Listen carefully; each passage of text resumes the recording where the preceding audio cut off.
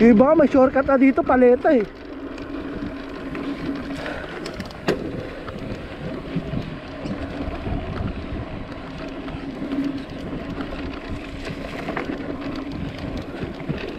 Iba dito na dumidiretso eh.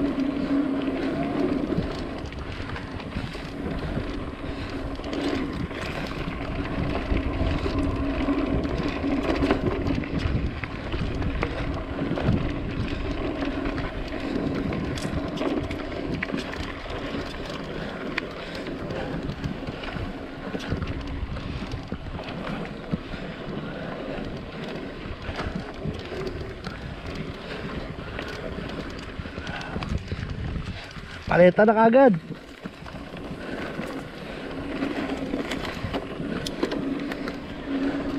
Sa bababa muna tayo.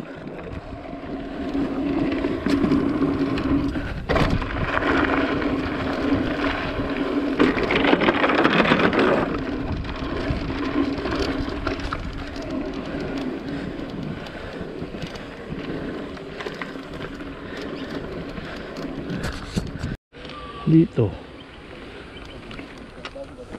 Pwede tayo doon pag ganun. Hindi doon tayo sa taas. Ay, may kangaroo. Abulin natin yun. Gusto mo ba dumaan dyan o shortcut na?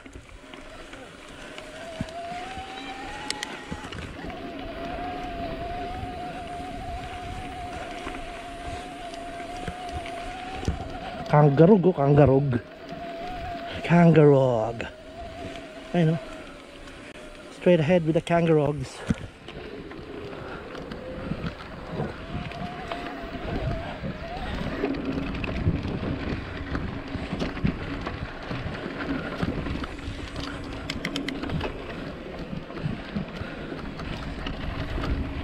Dali, ito. Ha. Doggies. Ito super curve. Ito super curvy, oh. Curvy. Super curve.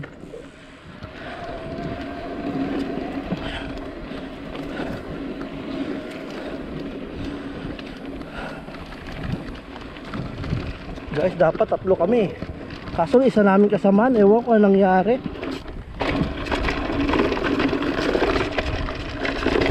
Na-Indian kami. Na-Indian kami isa namin kasamahan.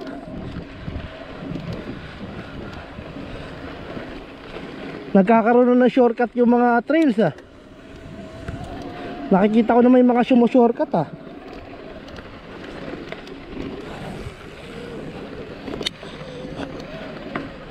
Roly poly.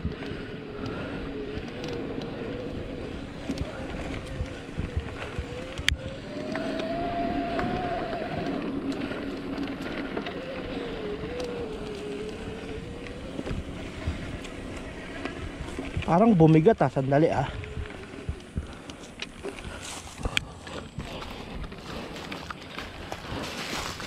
Ayun oh. Naku po, kumakayod sa shock. Ano kaya to? Tingnan mo. Kinakain niya yung pintura ng shock eh. oh. Naririnig mo? Bumigat eh. Ah, pumasok? Ayun oh, kinakain niya. Parang yung frame dumidikit ng gusto sa shock. Naramdaman ko eh. Ayun oh, naan yung pintura oh. Tama? Hindi kaya, ayun oh. Parang dikit siya doon yung kinabit ko yung bearing, parang dikit yung bearing. Naramdaman ko eh.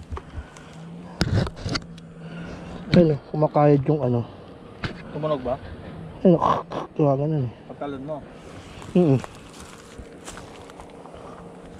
Iba pala yung monitor mo. Diba? Research ko nga. Ano na? I-research ko.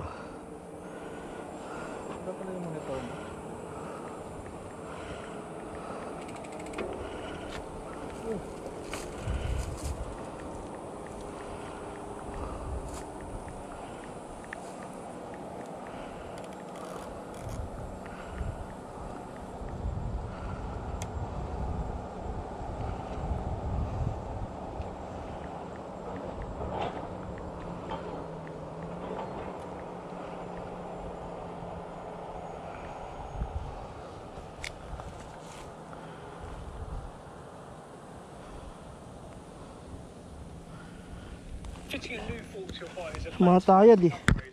Bumigat eh. Sabi ko, puta. Kumakayad. Sandali. So I'm going to demonstrate by fitting a new RockShox fork to my Nuke Scout. Really simple. This is how. Such as this crown race puller, the job, you can actually do this file, move your existing by holding, put your wheel aside for existing fork, and let that just dangle down. Obviously, you want to make sure it doesn't hit anything. Make sure you don't lose damn clamp bolts. Loosen off the clamp bolt, ready to come out now. Now this is the bit you need to pay attention for. So I'm going to slowly undo this top cap now and hold the fork at the same time so it can't go anywhere. I'm just going to Tapon ko pa napansin eh. Take note that the steerer tube here is about compression ring there, which is a split ring that pushes into the top of the headset there. Kukontak Make sure that stays in there as well. Hindi, kum natatanggal yung pintura eh. Kaya nga, A washer, baka may kulang ka talaga eh. top bearing race. Now I'm just going to let the fork slide out of, the, of that, so it, doesn't- of that, so it doesn't drop on the floor and get dirty. In this particular case, it's come out on the actual fork steerer. So just to show you that, there, Ah, that is the lower bearing race. Malaki yung ano. Then there is a little spacer there or a seal. May spacer. Parang di ko nakabit yung spacer. Hindi ko nakabit yung spacer. Malas.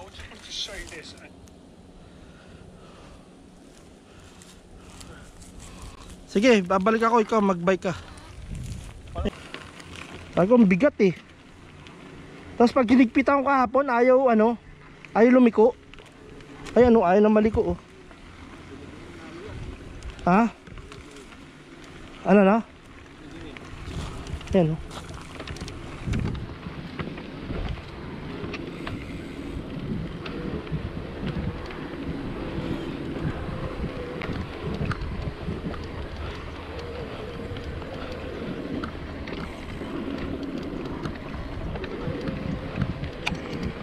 Bad trip. Yeah.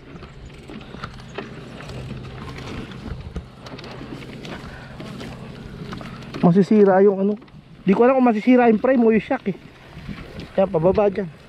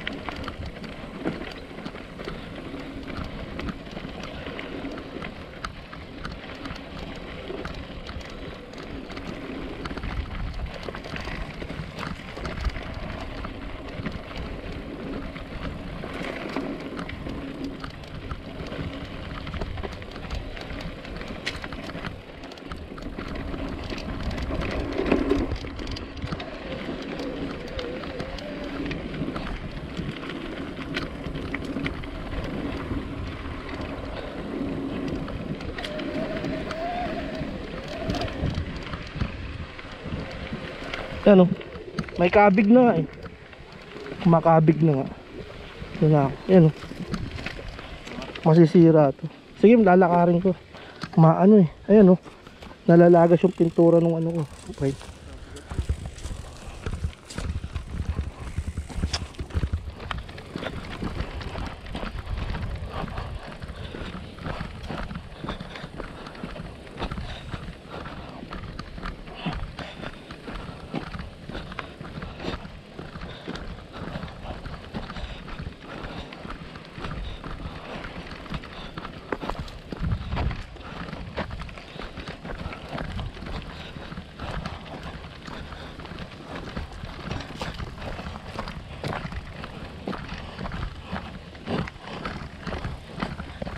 Hindi talaga tayo makakaraid yan. Kinakitang buhay.